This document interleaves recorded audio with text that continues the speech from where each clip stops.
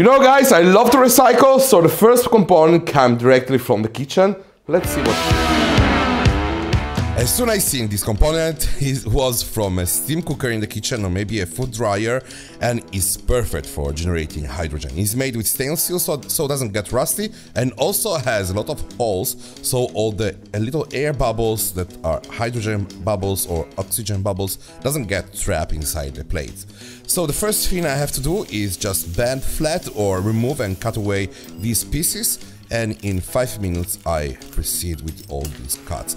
So this is the end result. I have to now take a marker and mark a little notch on the side of all these plates. This is so important. Consider that we have to apply electricity to, this, to these plates. 10 has to be positive and 10 has to be negative and it's so important that doesn't get short circuit in from one another. Now is night time, I cannot make noise here in my shop, so the solution is going underground and cut all the parts here in the basement. This is like a little place where I play cards with my friend and I can cut everything with a grinder and later is also a very good idea to take a metal file and clean up the hole we just cut. So now we, you can really understand the purpose of this cut. Helps to doesn't create short circuit from templates and other templates. We can then take metal rods, these are as well stainless steel rods, take some bolts and nuts and connect everything. Repeat, repeat this procedure 80 times and we soon end up to have the finished part of this procedure. We had 10 plates connected to the positive and 10 to the negative. You can then shuffle the plates together and you can now understand the reason we made this little notch. We cut it so there is place for the metal stainless steel rod. Because we don't want to have short circuit from one plate and another, it's very important to add some washers. In this case are made in wood, but you can use plastic or any kind of material. So I can use some nylon strips to secure everything. This is a very clever idea because also this part doesn't have to conduct electricity and these nylon strips are great for this project. Cut away the excess and this is the final result. Very clean, very precise, I love the result and I'm pretty sure there aren't short circuit from 10 plates and other 10 plates are all connected from one side and another side without short circuit. This is an electric boiler. As you probably know, this inside has two stainless steel plates if you give electricity to them, this will heat up the water that is inside the glass container. If you think about it, this isn't so different from the HHO generator we are building. In the HHO generator there are as well stainless steel plates. We are going to put electricity into them and everything will be uh, sunk inside some water. So it's basically the same principle. This is a boiler that produces heat and also the HHO generator will produce as well heat. That's the reason why it's so important to keep the water very low temperature because if the water starts to heat up, we are also producing steam inside the HHO generator. And this is very bad because we need to produce only flammable gas and not steam. Otherwise they will mix together inside the tubes and from the torch itself we can keep in the hands to, to solder and weld things together with this flammable gas. We are also producing steam that cools down the flame and this is terrible because uh, we want to have the more efficient flame as possible. So that's the main that's the main reason it's so important to keep the temperature of the water low so we aren't producing steam and everything is much more efficient. So I just found things in my drawers, so let's see how to recycle them and put them together.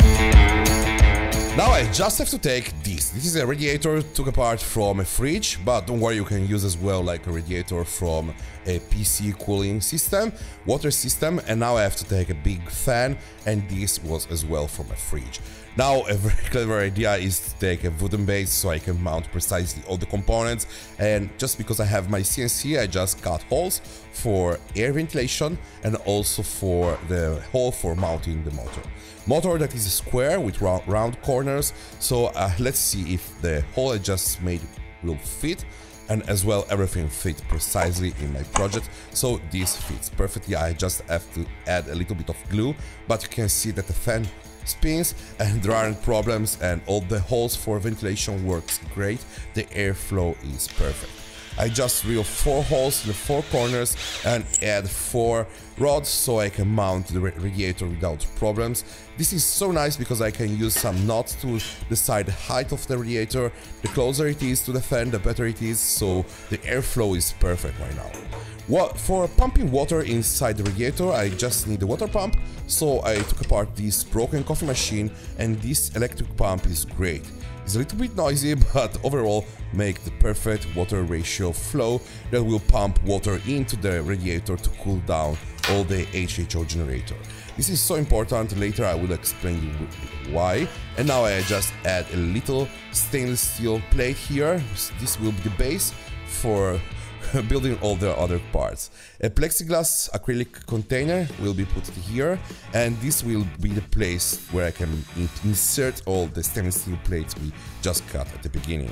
Two little connectors in plastic are glued here on the side and this is the cap with holes and I just have to insert and pass the metal rod and you can see that all the stainless steel plates fits perfectly inside the container glue and close up the container I just have to take two little bottles. The first one, the bigger one, is just because I need to have the cap.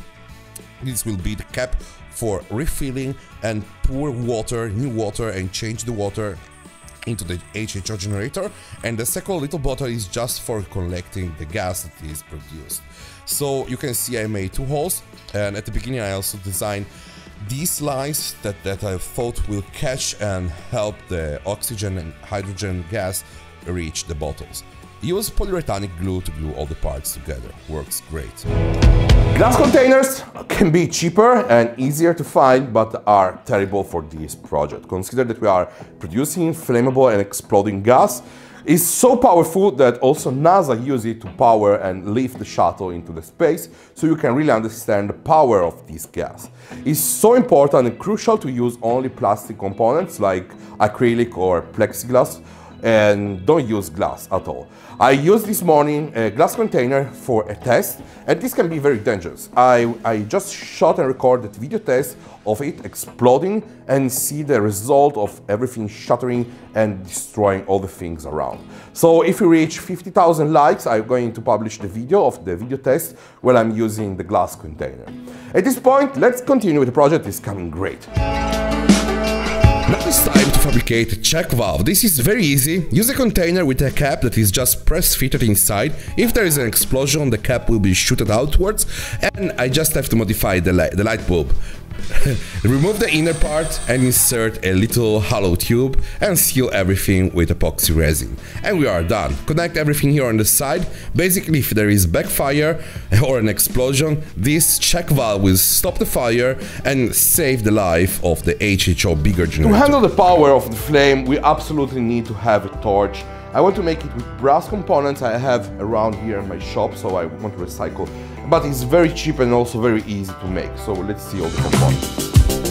I'm going to use all these brass components, but don't worry, just take inspiration, build your torch with things you have in your shop. This is the nozzle. The part where the flammable gas come outside is basically a stainless steel needle, 0.6mm wide, in the front, and here on the back I'm connecting a small valve that I took apart from the, co the coffee machine. This is uh, stainless steel wool. I can stiff it in and fill it inside the, the brass tube inside. This is so important. Helps a lot to reduce backfire and explosion happening inside.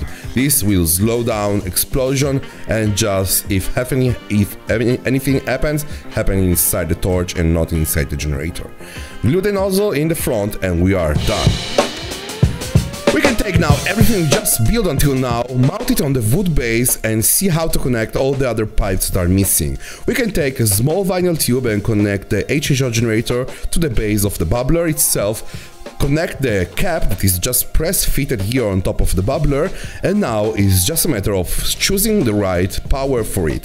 So 5 to 8 volts with a lot of amperes are necessary to power everything. So it's very simple but let's change room now here is much cleaner and you can understand better how to connect the things. So two leads goes to each plate So 10 has to be positive and 10 has to be negative. I remember, use DC current and not AC current. Now it's just a matter of choosing a very long tube, rubber tube, and connect the torch itself, and we are almost ready. Now I just have to add some water. In this case I have distilled water and not tap water. Tap water inside there's calcium and other minerals that can stick to the stainless steel plate, but we want to have the stainless steel plates as clear as possible, so uh, distilled water works great for this purpose. There aren't minerals, but there's a problem. Distilled water doesn't conduct electricity at all, works almost like an insulator, so we have to add some salt, in this case sodium works okay, and I have to mix these two parts with this percentage. I can use the white cap that I glue here in place for this purpose, just to fill the container. That's great idea. So mix the part and fill it.